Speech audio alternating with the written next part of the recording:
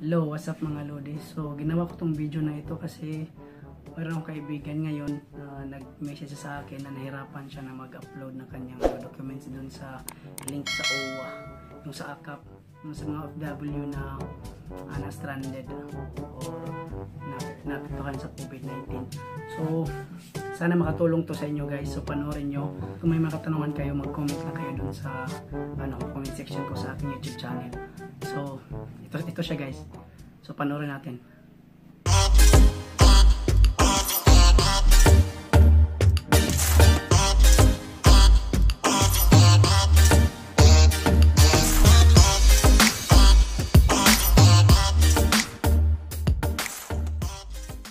Guys, so sa pasa wala pang link.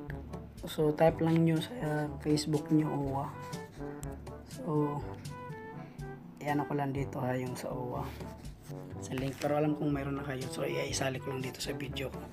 Tutorial ko na to. So mayroong link dito.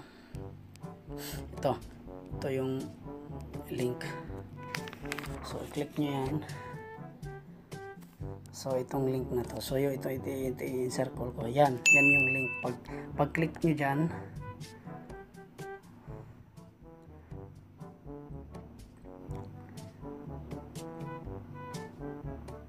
So, pag i-click nyo yan. So, alam kong alam nyo na kung nasan ang link. Tap nyo lang OWA. So, ilagay ko na lang yung link dito sa the description ko para madali nyo makita. So, yan. I-fill nyo lang yan. Tapos, continue. Sa, pag next nyo dyan, doon nyo makikita yung pag-upload ng ating mga attachment. So, yun guys. Okay, so like for example, kung wala, wala pa kayong ano, wala pa kayong apps na ganito, itong encirculan ko, so mag-download muna kayo ng apps na yan. So ganito ang gawin mo. So click mo yan kung may apps ka na. So pag click mo ah uh, So ito makatulong to, to guys sa mga nag-quarantine ngayon na hindi makalabas talaga sa kuan sa ating bahay at saka walang mga computer. So i-click mo tong kuan. I-click mo itong camera. So like for example, kung kailangan mong ma-PDF yung ano mo, yung mga file mo. So kung ito yung file mo, like for example, uh, return ticket mo. So picturean mo lang 'yan. So pag picture mo ganyan,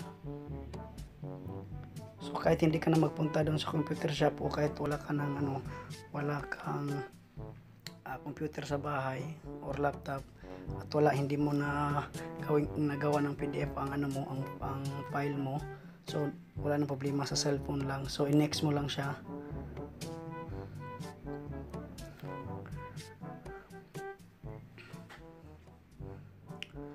Yun. Pag next niya so tingnan mo kung kung anong gusto mo yan malinaw ba? So like for example ito lang example ko lang muna to. So i-click mo yung save. So kung marami yung marami yung ano mo documents so picture mo na lahat muna so like for example ito rin. So example lang yan. So kasi marami kasi ngayon na na problema.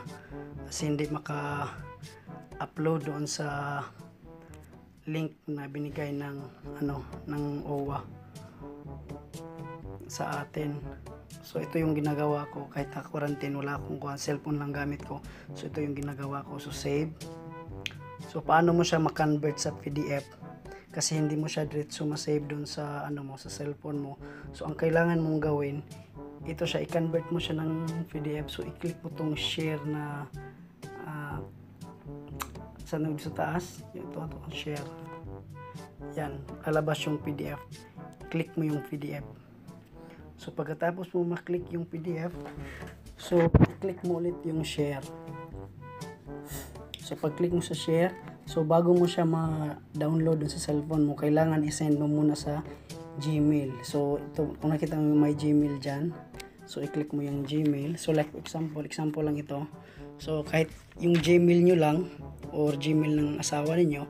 So example lang ito. So i-send ko sa Gmail ng asawa ko. So yan. So send ko lang siya.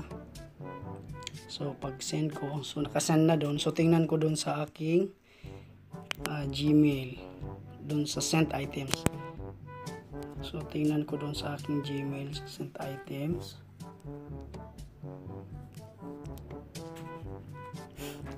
So, yun. Tingnan nyo lang yung sent items ninyo. Dito yun sa sent items. So, antayin nyo lang na makapasok. Na-send nyo yun. So, check natin kung ito ba yun. So, kung na-send na yun, check nyo yung sent items.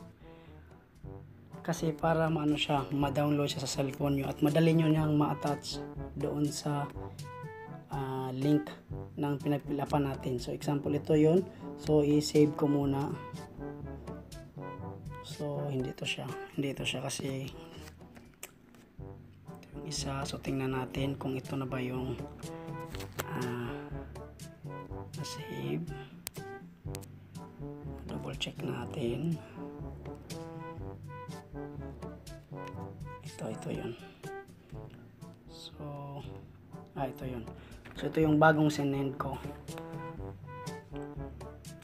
So, save natin.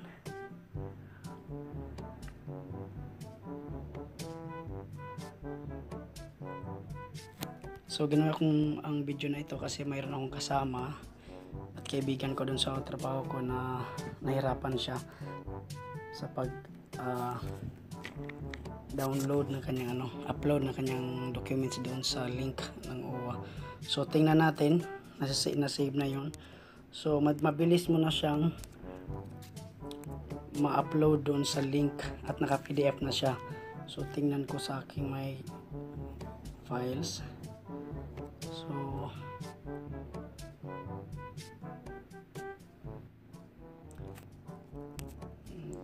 dito siya. Tingnan ko kung ah, yun ito na. So yung ginawa ko yung pinicture natin ngayon ito siya naka PDF na siya.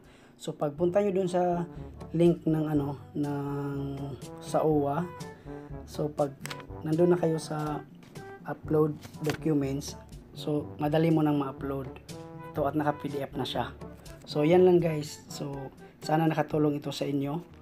At kung may mga katanungan kayo so comment lang kayo dito sa aking YouTube channel at uh, gawa ko ulit ng video tutorial. Salamat po.